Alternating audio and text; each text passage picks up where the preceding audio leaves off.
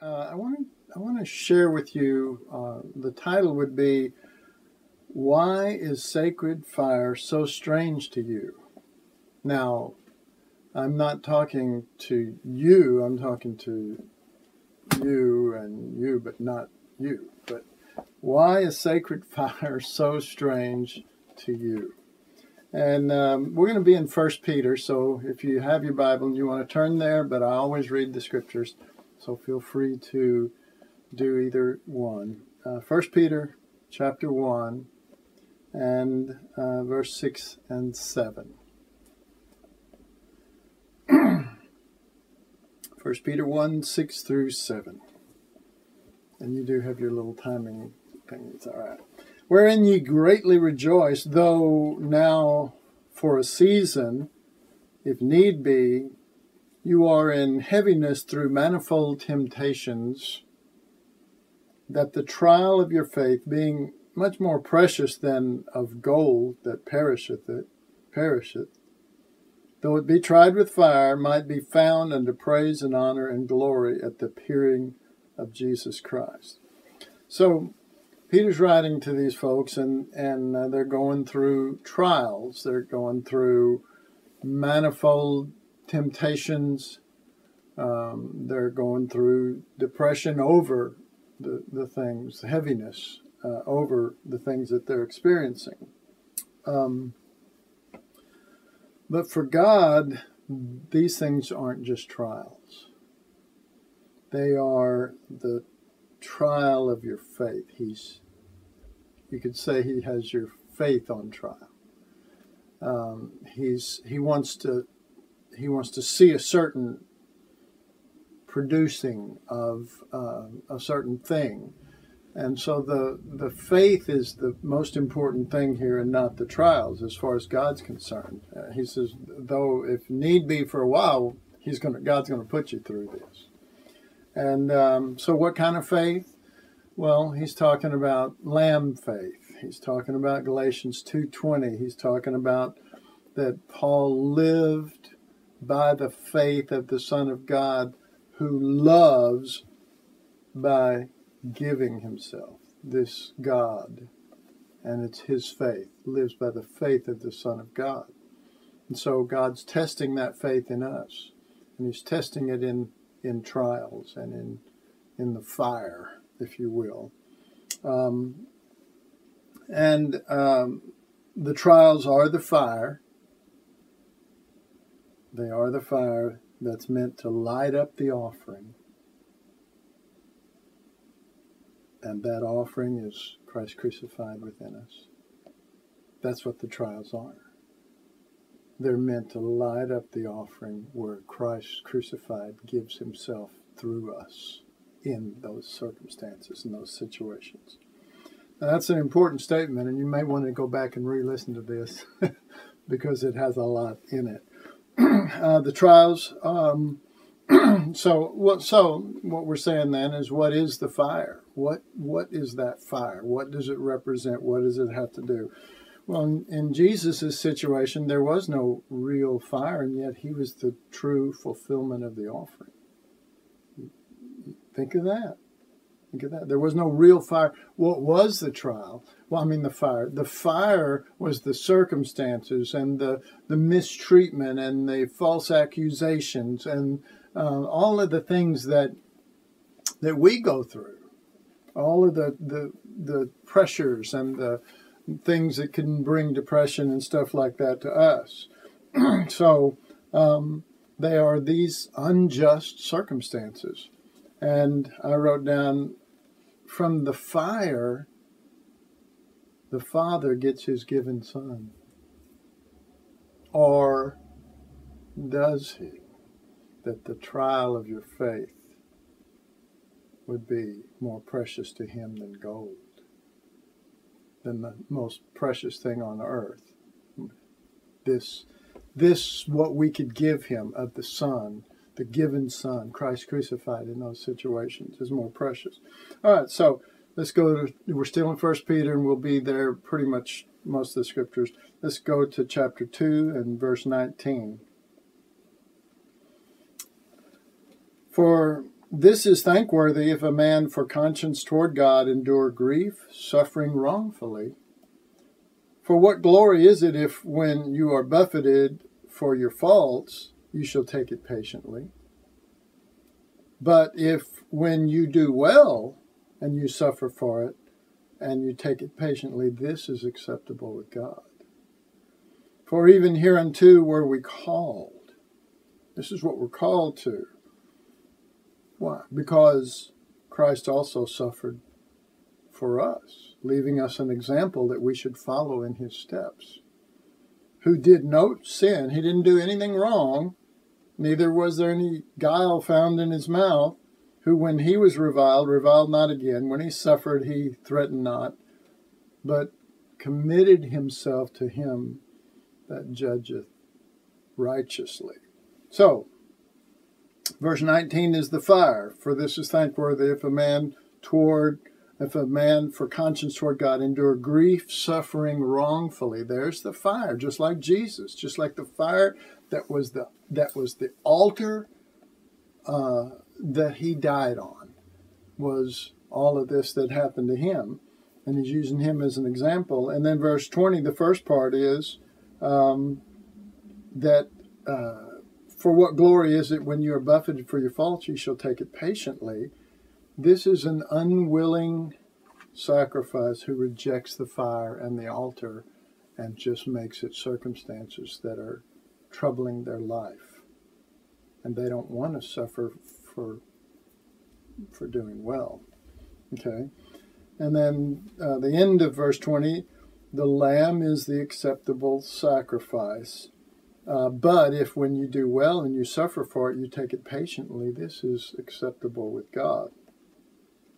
Verse 21 called to Christ crucified, and that's for even here hereunto were you called, because Christ also suffered, leaving us an example that we should follow in his steps. That we are called to Christ crucified, not just to Christ justified or resurrected, however you want to put it.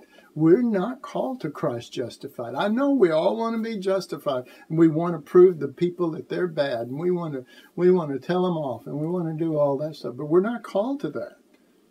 And we're not called to Jesus above right now. We're called to Christ crucified. That's what this is declaring unto us. And then verse 22 and 23 who did no sin. Who did no sin. Neither was guile found in his mouth, but when he was reviled and, and so and so. So the so I wrote down the fire was upon him, but he responded not as a crisis, but as an altar unto God. The fire, see, it's the same fire that Jesus went through. We it's lesser to a lesser degree for us, but it's the same fire that Jesus went through. And it's the true fire that God always had in mind when in the Old Testament he set up altars and he rained down fire on sacrifices and all that kind of stuff. This is the true fire. This is the fulfillment of it. This is the meaning. If you want to know the meaning of altar and fire and everything, this is it. And he's telling us that's what Jesus went through, and he did that as an example so that we also would be with him in that spirit as he went through it. And that's what he's talking about, this lamb spirit. Um, so, you know, I was thinking about how we just miss that. We miss the, the we just call it circumstances or trials or stuff, and we wrestle with it. Oh God, take it away and get rid of all this stuff and everything. And I'm thinking about Abraham and him and Isaac when they're going up to the altar and they're he's Isaac's going to be offered and and Isaac looks at his father and he says father here is the here's the wood and here's the fire but where's the lamb and we had the fire that we're going through and God's son is still asking where is the lamb here's the fire I'm in the middle of the trial but when is the lamb going to come out of me in this First Peter now in chapter 3. He continues because this is the theme of First Peter. First Peter 3, verse 9 and 10. Not rendering evil for evil or railing for railing, but contrariwise blessing, knowing that ye are thereunto called. He's repeating this in the next chapter from where we just came, chapter 2, that you should inherit a blessing. For he that will love life and see good days, let him refrain his tongue from evil and his lips that they speak no guile. Okay, so what is the fire? The fire is the evil and the railing that's happening to them. That's the fire. That's the circumstances that they're in. They're called, he says right here, you're called to a lamb lifestyle. You're called to this. Um, and but we're not just called to doing what the lamb would do, we're called to the lamb nature. That's what we're called to. We're called to the lamb and the oneness of him, in him, by him, for him, to him. Be glory forever and ever. Amen. So, verse 10 then, for uh, he says, Let him refrain his tongue from evil and his lips that speak no guile.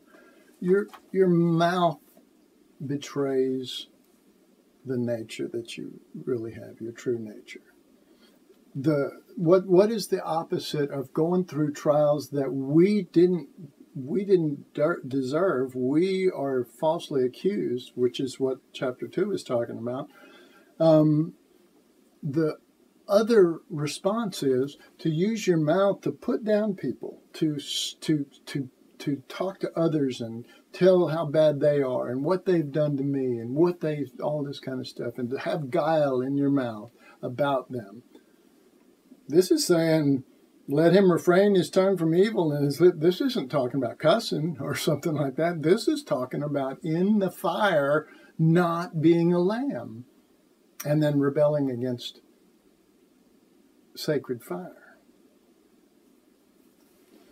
And then, still in chapter 3, 1 Peter 3 17 and 18, for it is better if the will of God be so that you suffer for well doing than for evil doing. For Christ, always pointing to Christ crucified, for Christ also hath suffered for sins, the just for the unjust, that he might bring us to God, being put to death in the flesh, but quickened by the Spirit. So, I wrote down it, it suggests suffering for well doing. The scripture is suggesting suffering for doing good. Who ever heard of such a thing? The good shouldn't suffer, right? The lamb does. The lamb suffers for well doing, for the things that he's done right. Um, so the fire in this scripture is the suffering that comes when you didn't do anything wrong. When you didn't do anything wrong. Okay? This is the altar fire, not and it's this is the the real fire, the true altar fire. And it is not just circumstances out of control. Now, we can see it either way, and that was why I said, Why do you, you know, I forget the exact title, how, why is sacred fire so strange to you? Um, uh, so it's suggest this scripture is suggesting suffering for well doing. Um, this altar fire is not just circumstances. So why would we suffer this way? Why would we go through? Why would life is hard enough without going without uh, suffering for doing good?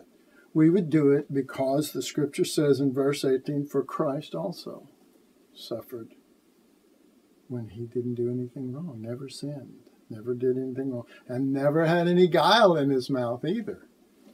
Um, so this is God's means of bringing those evil people to God.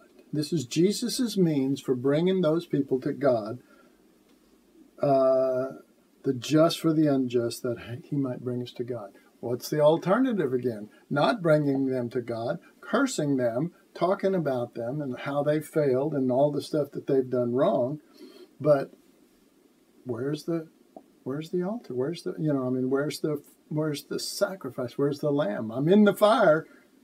God's saying, Well, where's the lamb? And then in chapter 4, verse 12 and 13, Beloved, think it not strange concerning the fiery trial, which is to try you, as though some strange thing has happened unto you. But rejoice inasmuch as you are partakers Christ's sufferings. This is what this was his great suffering, not because he did anything wrong, but because he was accused falsely, and he he didn't he was he didn't do anything wrong there, and when he got accused, he didn't do anything wrong either. Neither was there guile found in his mouth. I wrote a little quick translation, my own. Beloved, think it not strange concerning the sacred fire, which is to cleanse you as though some strange thing happened unto you. This is this is a test. It's supposed to burn off the dross. And and our faith to him is like pure gold that rises. Pure gold that rises up.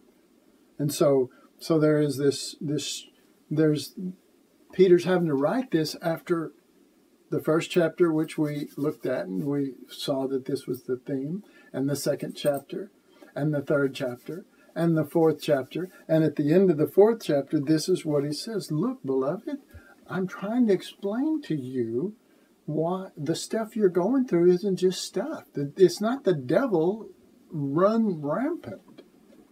That this is the altar and or the fire and lay down on the altar and let Christ rise to the Father. Let the sweet savor of Christ rise up because many of the scriptures that we just read was always talking about that God would be glorified. Not us, but God would be glorified. And so um, a scripture off from that is 1 Corinthians chapter 3 and verse 13. 1 Corinthians 3 13.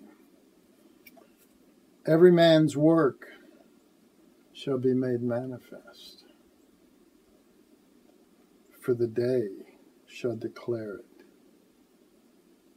because it shall be revealed by fire and the fire shall try every man's work of what sort it is. I mean, I got goosebumps. Because that is so incredibly powerful to realize that the, the, the judgment, in a certain sense, is being set up by us. Not because we're sinning, but because we're violating the Lamb when because of because this is an unjust situation. I I serve the Jesus of justice who rose above his enemies. No, no, that's not what you're called to. It's not what I'm called to. and I'm going to be with the Lord, and I know you are too. And I know that we all want this, but you can't do that by knowing the truth. You do that by knowing Christ as the truth and as the fulfillment of all of this. This is just, and every man's work shall be made manifest. In other words, everything is going to come to light, regardless of what we say we believe, regardless of what we we teach or we we handle as as far as the Word of God. It's going to what really is there is going to be made manifest by the fire, the fire that we face every day, or you know, throughout our life. And the day shall declare. What day shall? Well, for sure the day that we're in the fire and the response that we have, because it's talking about a manifestation of what's in us. So the day that we're in that trial, it's either a trial uh, that is brought on by the world, the flesh, or the devil, or it is a, it is God trying our faith to see of what sort it is, what, what's the nature of our faith because it shall be revealed by fire. Now, you tell me any other place that that could be possible. I mean, when you die, you don't go through fire. When you get up to heaven, you don't. There's not fire all around that reveals this. This is revealed in the fires of of everyday life and the same fires that Jesus experienced. Now, well, let me finish this last part. And the fire shall try every man's work of what sort it is. The fire, the fire is the big divider. Um, three Hebrew children thrown in the fire. Jesus shows up. One like the Son of God. One like the Son of God was in there with them. Um, that rises to the Father. The Father gets his given Son. Uh, it's a glorious thing. Well, someone else, and I'm sure there were plenty of people thrown in the fire before, and they just died. And they might have cursed the, the people throwing them in the fire for, for throwing them in, in there. But to God, that's sacred fire or it's strange fire. I don't want to get into because I'm I'm crossing over some in relationship to what I'm teaching on Thursday nights about the prodigal son. But Nadab and Abihu died because of strange fire because they didn't understand the fire. Strange fire. They died of strange fire. Think it not strange about the fire that is meant bring forth the gold, which is God, which is Christ, which is the fullness of his of the nature. And it's manifested the fullness of the nature of god is manifested by that fire. And if if there'd never been a cross you and me would never have known god as the lamb. We'd have known him as the healer or the king or the this or that or everything else. We'd never known him as he is. We'd only known him as he does so when we get in the fire when we get into the, those circumstances,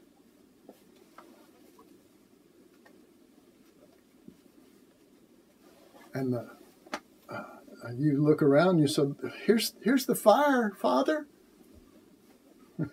here's the wood, but where's the lamb?" The father go, "That's what I'm asking. Where is the lamb? I'd like to see him come out of you in this situation." And he did lay down on that altar. And then God provided himself a lamb, but he had to accept that spirit. The father had already done that. Abraham had already done that and said, went three days and took him up there, laid him on the altar. The death had already taken place in his heart. It says that in Hebrews. And the son had already done that because he laid down. But when it's all come true, it's really just the Lamb himself in us and none other. Not us, but Christ. I am crucified with Christ, yet not I. And that crucifixion was by and to and through him. So let's pray. Father, I just thank you for uh, the, the reality that Jesus, the, the fire, the, after all of the years and centuries of um, and millennia almost of of all of the sacrifices that were going on, and every one of them required fire. That when Jesus came, there was no fire except the fire of circumstances. And then Peter, one of the twelve that Jesus chose, Father, declares unto us, This is the true fire. And this is where we're supposed to make it an altar and not just a mistreatment, a maltreatment by people. Father, help us to not think uh, it's strange concerning this fire, as though some strange thing has happened to us. But help us to be so in tune with the life and nature of your Son. And help us be so in tune with the desire of your heart as a father desiring this son not the resurrected son not the not the justified son that can gloat over the people who did this to him and point to him and say you were wrong but the son the one who went through all of that that's what you're he did this as an example for us that we might walk in these same steps what steps christ crucified Help it become not teaching, not theology, not our belief system, the very heart and soul of our being as we go together through this life by Christ crucified. For we ask in Jesus' name. Love you guys. Love you a whole bunch. Thank you for allowing me to share.